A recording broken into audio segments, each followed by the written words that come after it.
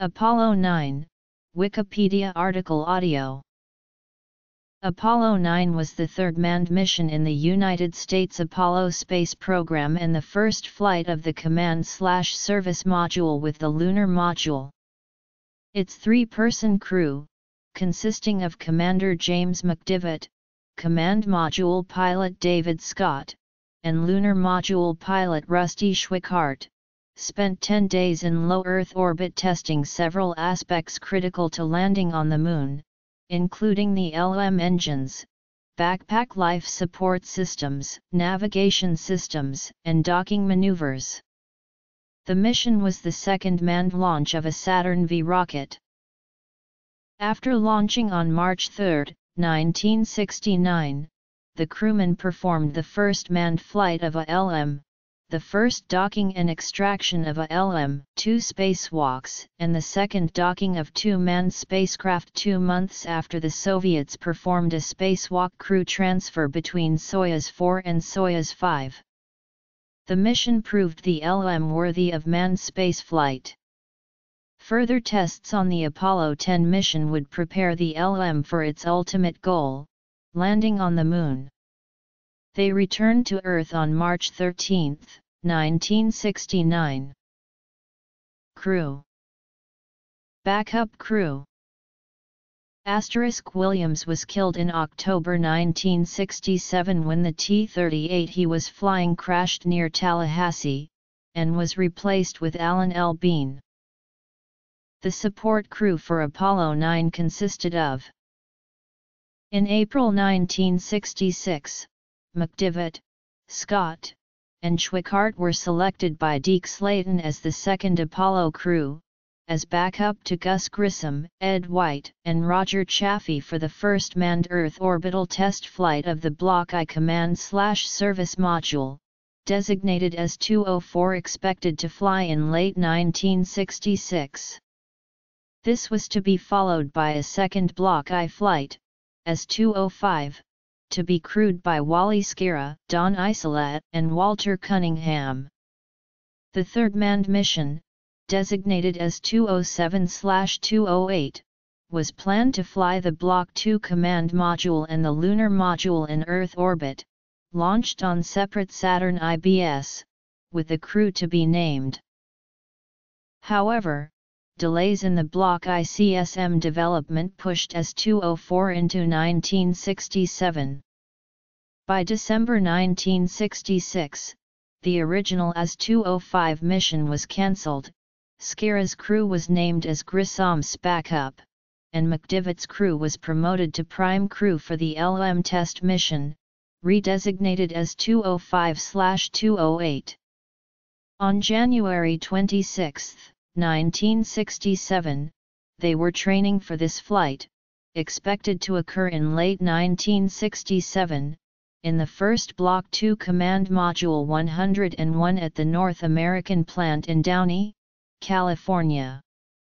The next day, Grissom's crew were conducting a launch pad test for their planned February 21 mission, which they named Apollo 1, when a fire broke out in the cabin, killing all three men and putting an 18-month hold on the manned program while the Block 2 command module and A7L pressure suit were redesigned for safety. As it turned out, a 1967 launch of S-205-208 would have been impossible even absent the Apollo 1 accident, as problems with the LM delayed its first unmanned test flight until January 1968.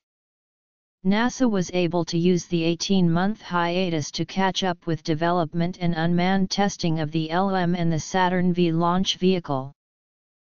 Support Crew By October 1967, planning for manned flights resumed, with Apollo 7 being the first Earth orbit CSM flight in October 1968 given to Schirra's crew, and McDivitt's mission following as Apollo 8 in December 1968, using a single Saturn V instead of the two Saturn IBS. This would be followed by a higher Earth orbit flight, to be crewed by Frank Borman, Michael Collins, and William Anderson early 1969. However, LM problems again prevented it from being ready for the D mission by December, so NASA officials created another mission for Apollo 8 using the Saturn V to launch only the CSM on the first manned flight to orbit the Moon, and the E mission was cancelled as unnecessary. Slayton asked McDivitt and Borman which mission they preferred to fly, McDivitt wanted to fly the LM, while Borman volunteered for the pioneering lunar flight. Therefore, Slayton swapped the crews, and McDivitt's crew flew Apollo 9. Flight Directors The crew swap also affected who would be the first crew to land on the Moon, when the crews for Apollo 8 and 9 were swapped, their backup crews were also swapped. Since the rule of thumb was for backup crews to fly as prime crew three missions later, this put Neil Armstrong's crew in position for the first landing mission Apollo 11 instead of Pete Conrad's crew, who made the second landing on Apollo 12. Apollo 9 was the first space test of the complete Apollo spacecraft, including the third critical piece of Apollo hardware besides the command-slash-service module and the Saturn V launch vehicle the Lunar Module. It was also the first space docking of two vehicles with an internal crew transfer between them. For 10 days, the astronauts put both Apollo spacecraft through their paces in Earth orbit, including an undocking and redocking of the lunar lander with the command vehicle, just as the landing mission crew would perform in lunar orbit. Apollo 9 gave proof that the Apollo spacecraft were up to this critical task, on which the lives of lunar landing crews would depend. For this and all subsequent Apollo flights, the crews were allowed to name their own spacecraft. The Gangly LM was named Spider, and the CSM was labeled Gumdrop because of the command module shape, and because of the blue wrapping in which the craft arrived at Kennedy Space Center. These names were required as radio call signs when the vehicles flew independently. Mission Parameters Schweickart and Scott performed an EVA Schweickart checked out the new Apollo spacesuit, the first to have its own life support system rather than being dependent on an umbilical connection to the spacecraft, while Scott filmed him from the command module hatch. Schweickart was due to carry out a more extensive set of activities to test the suit, and demonstrate that it was possible for astronauts to perform an EVA from the lunar module to the command module in an emergency, but as he had been suffering from space sickness the extra tests were scratched. LM, CSM docking McDivitt and Schweickart later test flew the LM, and practiced separation and docking maneuvers in Earth orbit. They flew the LM up to 111 miles from Gumdrop, using the engine on the descent stage to propel them originally, before jettisoning it and using the ascent stage to return.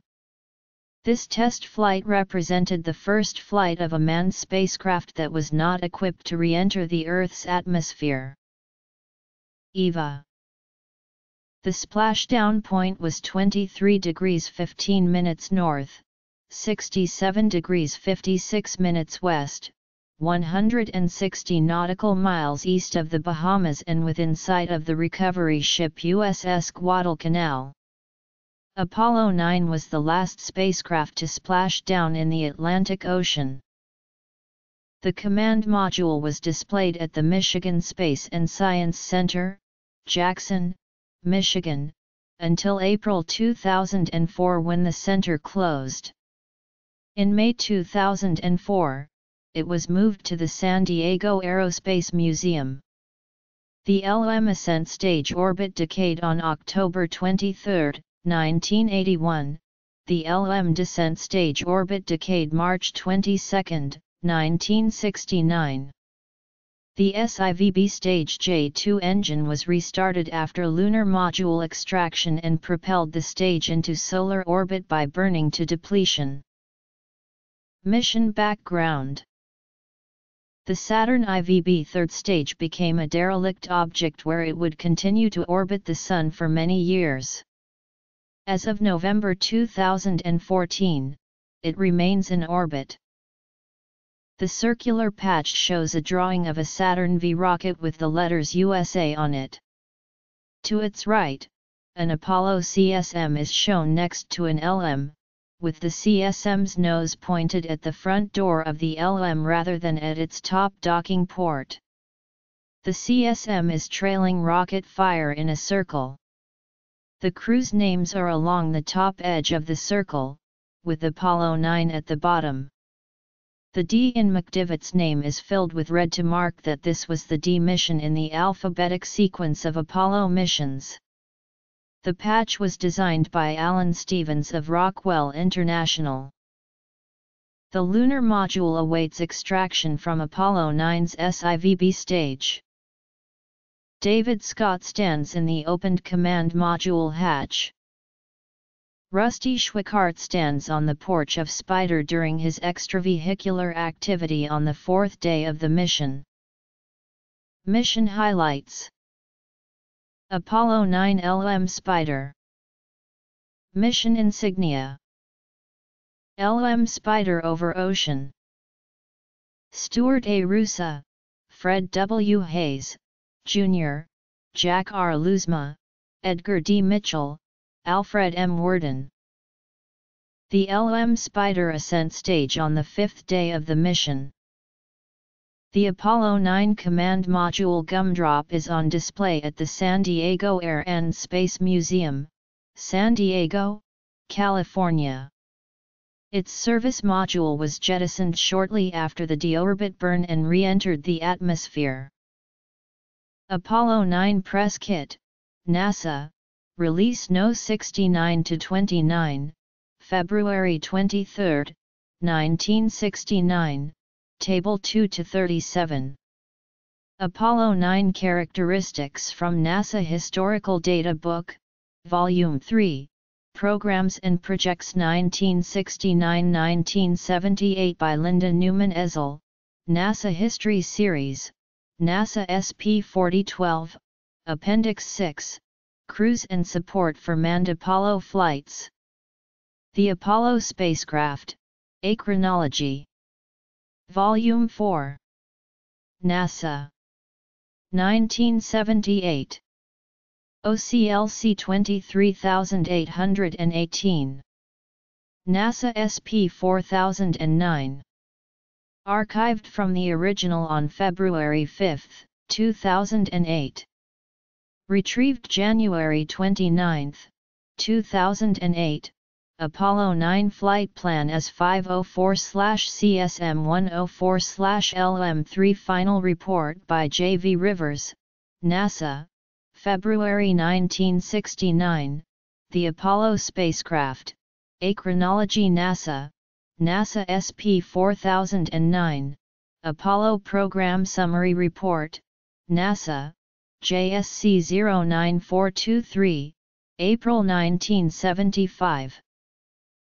The ascent stage of LM-3 Spider re-entered on October 23, 1981. Summary of maneuvers Pictures Spacecraft location The descent stage of LM-3 Spider re-entered on March 22, 1969. Apollo 9, 3 to make ready official NASA documentary film, Apollo 9 16mm onboard film Part 1, Part 2 raw footage taken from Apollo 9, Apollo 9, the space duet of Spider and Gumdrop official NASA documentary film, OCLC 768261, Apollo 9 images at NASA's Kennedy Space Center, Apollo launch and mission videos at apollotv.net. The upper stage of the Apollo 9 Saturn V, SIVB 504N, remains in heliocentric orbit as of 2014.